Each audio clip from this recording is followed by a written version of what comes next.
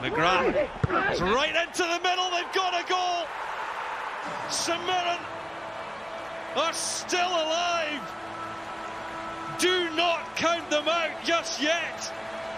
And it's Conor McCarthy, he's got the goal. It's one of the few times in the game when the ball has landed in the St Johnstone box that they haven't won the header. It's a terrific header from Conor McCarthy. Just sheer weight of numbers forces St Johnstone back onto their six-yard line. Any touch ends up in the net, but it's a really, really powerful header. A vital goal at an important time. They're still alive.